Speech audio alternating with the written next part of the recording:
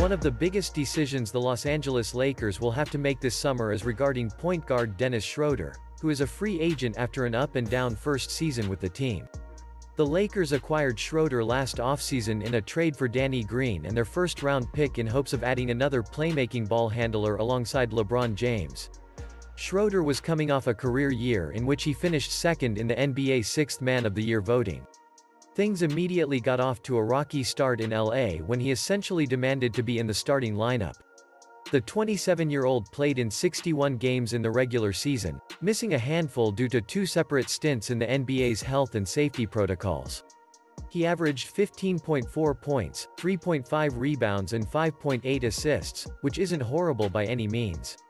The inconsistency was the issue as there were games, specifically in the postseason, that Schroeder didn't show up and it cost the Lakers.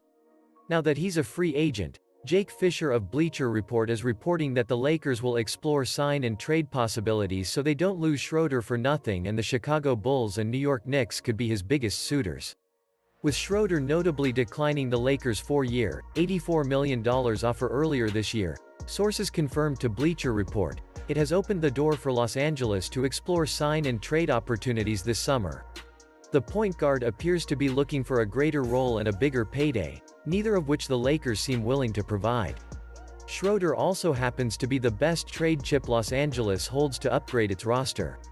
League sources expect Chicago and New York to emerge as Schroeder's suitors, and both could be conducted via sign and trade, although Knicks certainly have the cap space to sign him outright.